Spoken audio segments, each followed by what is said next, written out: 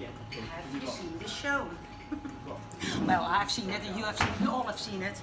The only thing what annoys me, do we really have to go that 10 minutes tantrum of a guest that can't behave? We've seen it all before. Oh my days.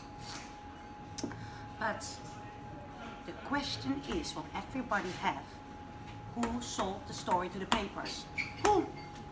I don't know. Nobody knows. Do you know? Well, somebody have leaked it to the press. In the end of the day, I saw a lot of crying. No tears.